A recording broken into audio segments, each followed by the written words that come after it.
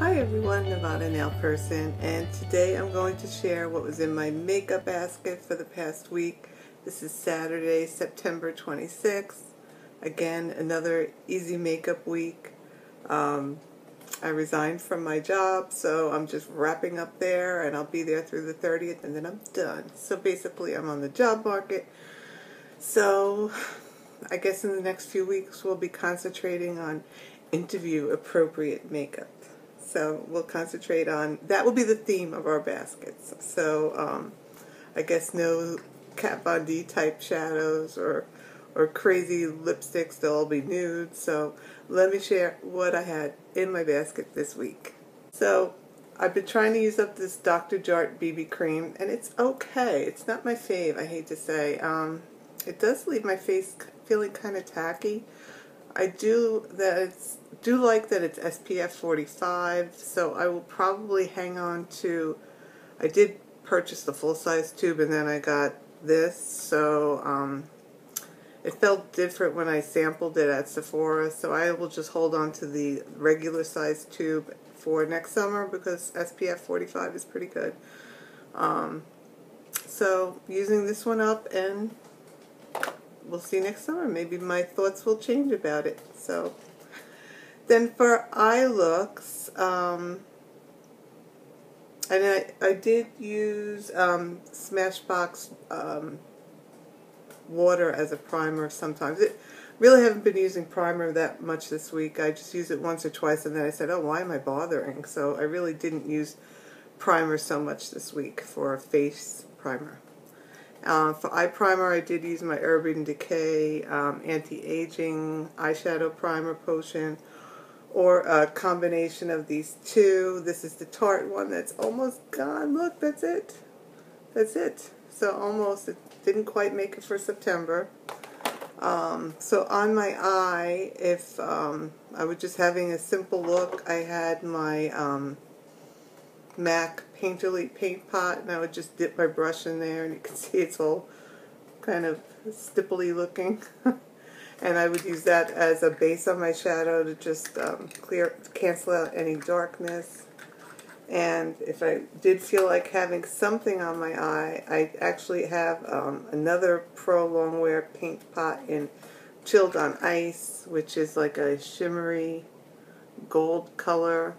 So it looks like this. So it's just something to put throw on your eye. You probably use it as a highlighter all over too, come to think of it. See, just a shimmer.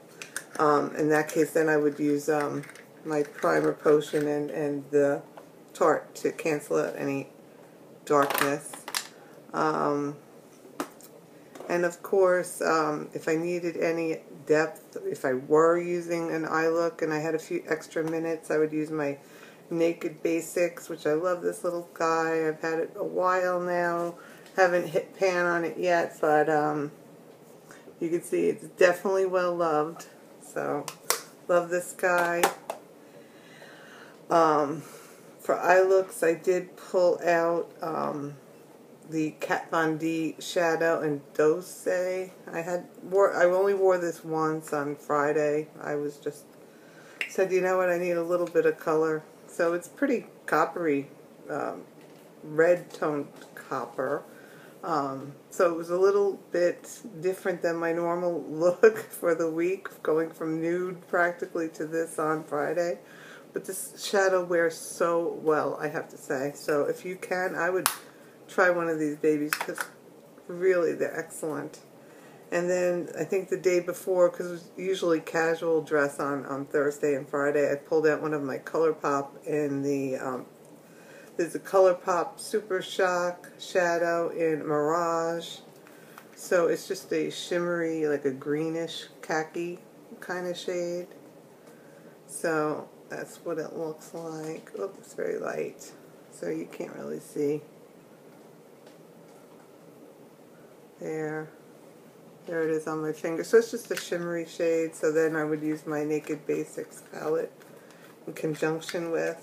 So that's what I had on my eyes. And additionally, I would use my um, front of the line dark brown eyeliner from Lorac. I love this. I think I saw something where they have a holiday set for these pens pencils, and I'm I would get it. I really like them a lot.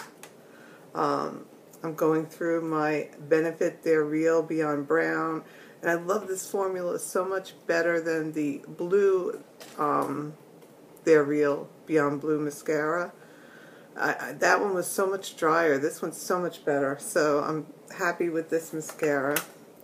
And then, of course, for under eye, um, uh, the e.l.f. Hydrating Under Eye Primer, along with the Becca um, Under Eye Shimmering Corrector, or Brightening Corrector for under eyes, and it just looks like that. So it's just a peachy shade. It really doesn't give you any coverage, but it sort of primes you and readies for um, some um, type of concealer product.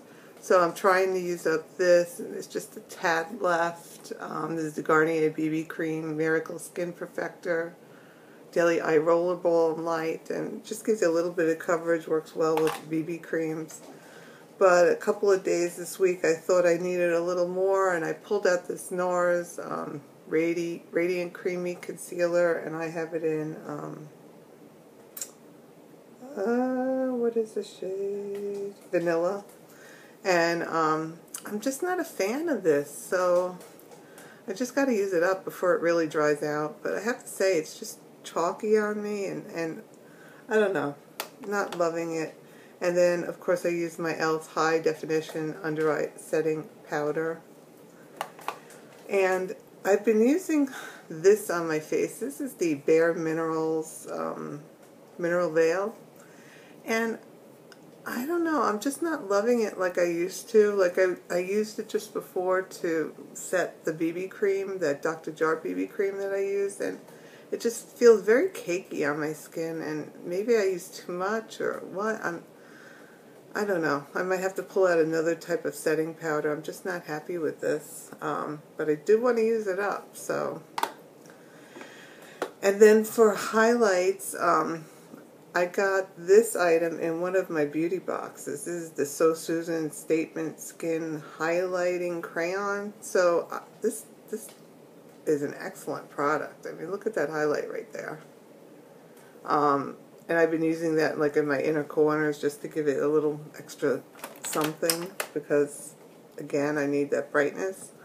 Um, for contouring, I have my Lorac Pro contour, which I love this guy. I use it every day um, for under eyes and whatnot. Um, helps set as well. I actually like it better as a setting powder than the um, Bare Minerals, but um, I do use some of the lighter powders under my eyes. Um, Hoola um, for the bronzer. So actually, I can use either or. I don't need both actually. So maybe one day I only picked up Hoola and you could see a hit pan and really want to use it up. So this is a great, great product. Really great product. And then finally, um, the Too Faced Love Flush Blush and Love Hangover. And um, I really like this blush, I must say. It's really cute and it wears well. I'll be sad when the, the bunnies wear down. Um, it's so cute. But I like this blush a lot.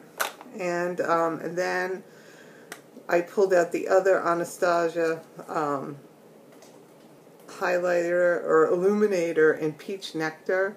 And that's what it's supposed to look like. Um, my other one experienced a little tragedy. Um, there's that highlighter. It's a little bit too orange, so it's more of a blush topper. So just have to be careful how I use it. I It did say for light skin, so um, it's more like a blush almost. But I do love it, and look at that pattern. That's how my other one should look. Um, it's great product though. And for brows, my Your Brows But Better from IT Cosmetics. Um, same idea as the Anastasia Brow Wiz. It's just a little pencil and just fill in with a spoolie on the other side and it's a universal shade so it's supposed to be for everyone. And then um, finished off with the Anastasia Beverly Hills Tinted Brow Gel and I have brunette. So it's just a shimmery brown and look see that's almost done as well. It's a little tilted but it's more like down to here at this point. So I have to leave it standing up in my, my basket and then finally for lip, two products. Um, first off is this Rimmel Provocalips, and I've been loving this. This is great. Love it. And actually, I read off the shade incorrectly yes um, last time. This one is called um, Make Your Move. I thought it was Rosetto, but it's Make Your Move. I found it on there. So it's a great product, and it is pretty long lasting. Um, and it's not as dry as some of the um, liquid type lipsticks because you do have this um, glossier side so it's very comfortable on the lips so I'm definitely getting more of these loving this. And then finally um, I have a ColourPop Lippie Stix and this is in the shade Lady so it was kind of dark and I wore this one day and I'll just swatch it here so you can see it's like that brownie purple red type of shades. it was pretty dark on me. Um, so I used it in conjunction with my um, Bite Beauty um, lip treatment balm, so it really sheared it out. So that was for my lips, and then setting my face, I have my L'Oreal Infallible Makeup Setting Spray. That is my go-to. So that is it. That's everything I used this week in my makeup basket. And um, that's it. If you have any questions, let me know, and I'll talk to you soon.